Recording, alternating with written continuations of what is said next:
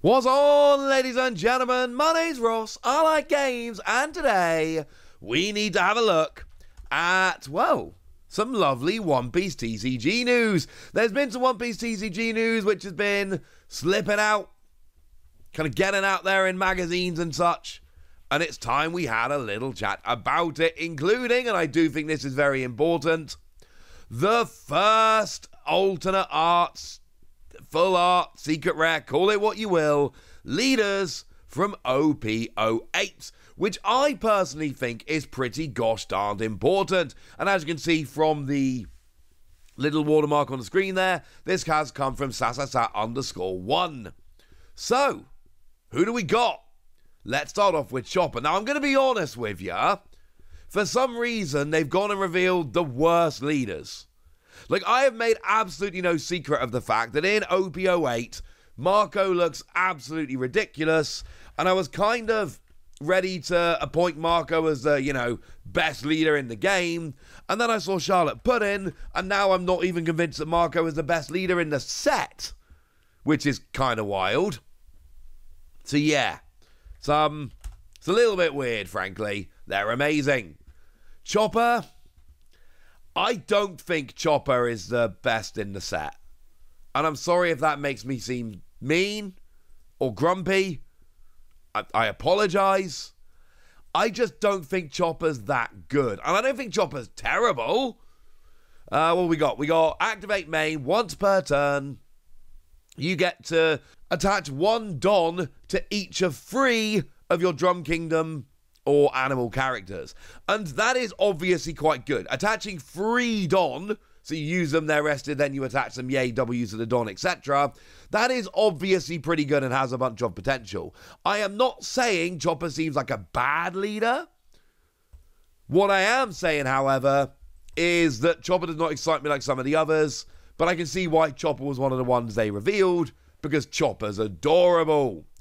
But really, what we're interested in here is the design of the alt art leaders. Because, of course, it changes set to set.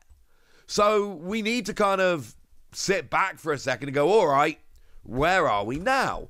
Because over in OP01, we started with what we refer to as the manga heads. Zoom in on the heads, literally taken from the manga. And then they carry on in OP02. OP02, exactly the same deal, we're back with the manga heads. OP03, we changed wildly to this, I don't know what to call it, paintery style. That's what I'm going with, which we, incidentally we haven't seen since. This was very much a one off. In OP04, we went to the leader standing their crew behind them style, which has more recently come back. More on that in a moment. OP05, we actually went back to manga heads, and these were full on manga heads again, artwork taken from the manga. OP06 was a weird one because we kind of have manga heads. They are kind of manga heads, but they're not manga heads. They are clearly extremely similar in style, except they are not taken from the manga. You notice the Perona here is drawn by Ryuda. They are very similar, but instead of being taken from the manga, they are new artwork, which is kind of interesting, honestly. But then EB01 came around and we went back to the OP04 style. But they did give us a Kyros to match our Rebecca, which I actually really appreciate because together I think they make a lovely pair of cards. But yeah, after skipping that style for OP05 and OP06, they went back there for EB01, which was frankly a little bit weird, but not unwelcome. And then OP07, which we've not seen in English, so I'm going to have to show you the Japanese scan here.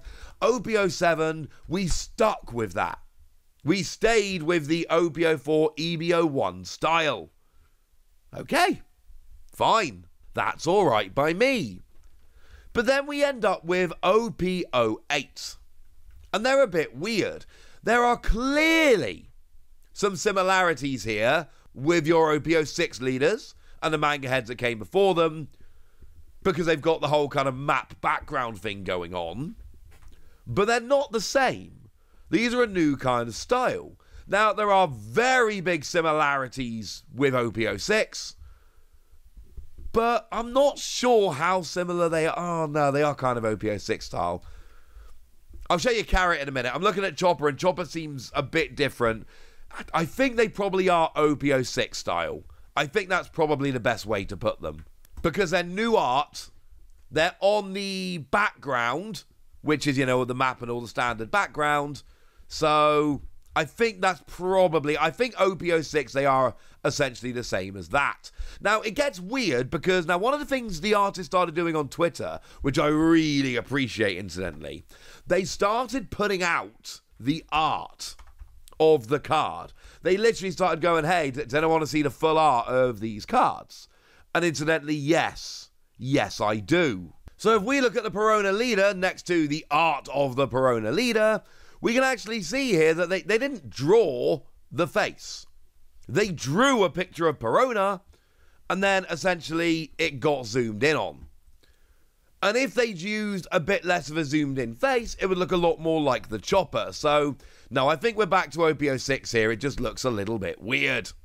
So if I show you the carrot as well, this one looks a bit more OPO 6 style. I tell you what, the chopper having the whole body in the frame because chopper's short is what confused me. I think if we look at the carrot here, yeah, we are very much looking at OPO 6. And it is a little bit weird because OPO 7 went back to the OPO 4 style and then OPO 8 goes back to OPO 6. There doesn't seem to be any pattern going on here, but that's all right. Uh, Carrot, again, not my favourite leader from the set. Not saying it's bad, just not my favourite leader from the set. We've got activate main once per turn. If you've got a Minks character on the board, then you get to rest one of your opponent's cost 5 or lower characters. It's fine. I don't think it's stunning, just like I don't think Chopper is stunning. I think there are two leaders in this set that are like proper job, full on ridiculous. I don't think it's either of these. But it's still cool, and we get to see the artwork, and we know that we're going back to the OP06 style, which I, for one, appreciate. And you know what? Yeah, this is pretty gosh darn cool. But there is also one new card that we need to have a little bit of a look at from Starter Deck 14. And I don't know if this is the last card from Starter Deck 14. I need to sit down and make a little bit of a list and see if we've actually seen them all. But I know we are at least getting very, very close. And it could actually be the last one.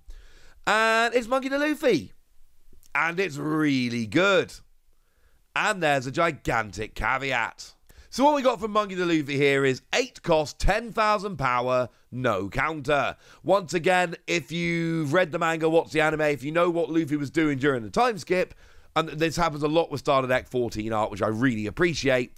If you know what Luffy was doing during the time skip, you're going to look at this artwork here and be like, oh, I get it. That's kind of cool. And I really like that. Like, there's so many of these cards that are just great pictures showing what happened during the time skip and I, for one, very much appreciate that. Here's the thing though if you've got a 10 cost character on the board, this gets rush. 8 cost, 10,000 power rush. Now, as a side note, it does actually say 10 cost or higher character. Remember, you only get 10 Don. You cannot have a character which is naturally more than 10 cost unless they bring in some kind of mechanic to give you extra Don or bring the cost down before you play it, because you literally only have 10 Don. But obviously, you could take a 10 cost character and your leader Luffy makes it an 11 cost character. If it's a Straw Hat, then the Sunny makes it a 12 cost character. We've got Heracles and Herades, which can up the cost by two as well. So there are plenty of ways now to up the cost. So whereas it used to be that 10 was a pretty hard cap, this new thing going on basically lets us break that cap and have more expensive cards. Which, just as a side note here, does not mean we're getting a character that costs more than 10, because as I've just explained, you have 10 Don. That would make no sense. But a 10,000 power character with Rush? Oh my word, that could be a lot of fun. And it's not like we've never seen powerful cards with Rush before, yeah? We do have some very good characters that have Rush. And we've got an 11,000 power Luffy that's got Rush. So this is not even the most powerful rushing Luffy. But I'm telling you right now, a black character with 10k rush that is something you don't see every day. In terms of naturally black characters, i.e., not one to have been given Rush by some other form, yeah, th- th- this is basically it in terms of the most powerful. And that is legit awesome. I love this. This is really good. Yeah, you got to have a 10 cost or higher character on the board in order for it to work. I grant you. But that's the whole point of this deck. And remember, Luffy is an 8 cost. So if you've just got the Sunny out and you're using Luffy as your leader, boom, that's it. That's your 10 cost right there. You play it, then you check to see if you've got a 10 cost. Oh, this is a 10 cost. Job's a good un. Because remember, it doesn't say other character, it just says character. So you should be good to go here. I like this. Sure, you're going to have to wait a couple turns to have the Don in order to play it, I grant you, but I don't really care, honestly.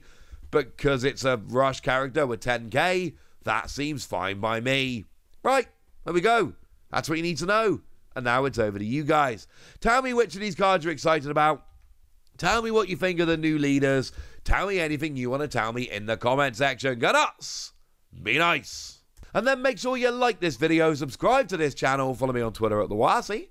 That's where we talk about One Piece and a whole bunch of other card games. And please do consider checking out patreon.com slash ptcg radio, where you can support the channel, get some bonus podcasts, and all kinds of fun things.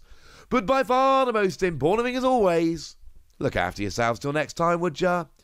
Thank you very much for watching. My name's Ross, and you've been watching Wossy Plays.